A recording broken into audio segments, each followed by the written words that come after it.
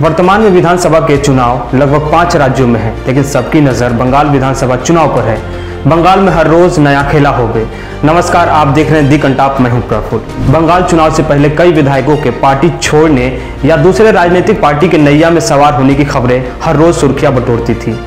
TMC के विधायक BJP में शामिल हुए, लेकिन आज गंगा कुछ उल्टी बहती नज़र आई। आप सोचेंगे, ऐसा क्या हुआ? तो बने रहिए, हम आपको बताते हैं आज फिर बंगाल चुनाव में टीएमसी के साथ एक नया अध्याय जुड़ गया है।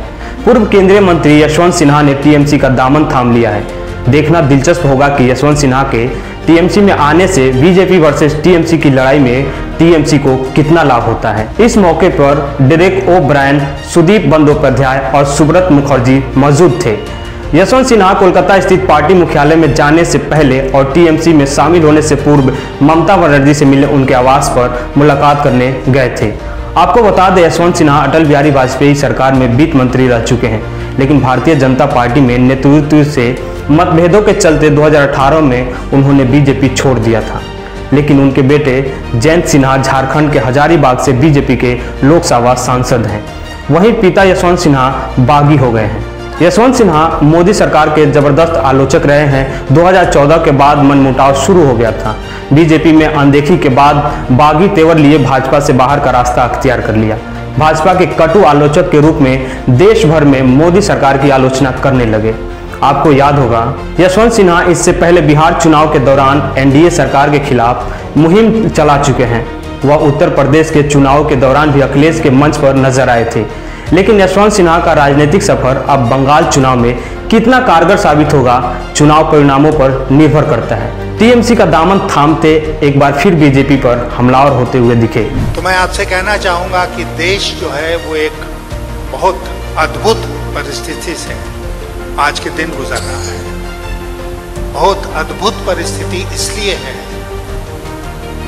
कि अभी तक जिन वैल्यूज़ को, जिन मूल्यों को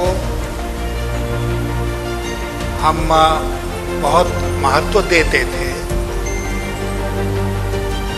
और ये सोच के चलते थे कि इस पर सब कोई अमल करेगा ही हमारे प्रजातंत्र में। आज वो मूल्य खतरे में है।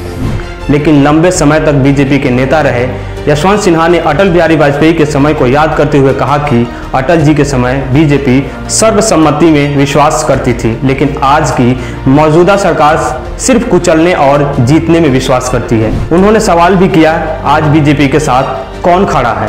वहीं सिन्हा ने कहा कि देश इस वक्त संकट में है। संवैधानिक संस्थाओं को कमज़ोर करने की साजिश रची जा रही है। उन्होंने कहा कि प्रजातंत्र की ताकत, प्रजातंत्र की संस्थाएँ होती है। आज लगभग हर संस्थाएँ कमज़ोर हो गई है। उनमें देश की न्यायपालिका भी शामिल है। हमारे देश के लिए यह सबसे बड़ा खतरा पैदा हो गया है। बंगाल में ममता का चोटिल होना, यशवंत सिन्हा का टीएमसी का झंडा थामना, वहीं बीजेपी में मिथुन चक्रवर्ती का शामिल होना। अब बंगाल चुनाव का परिणाम किस करवट लेता है, देखना बाकी है। तब तक देखते रहिए हमारे चैनल दी कंटाप को। और हाँ लाइक कीजिए शेयर कीजिए सब्सक्राइब ज़रूर कीजिएगा। हम यूट्यूब फेसबुक ट्विटर और इंस्टा सभी जगह मौजूद हैं। शुक्रिया।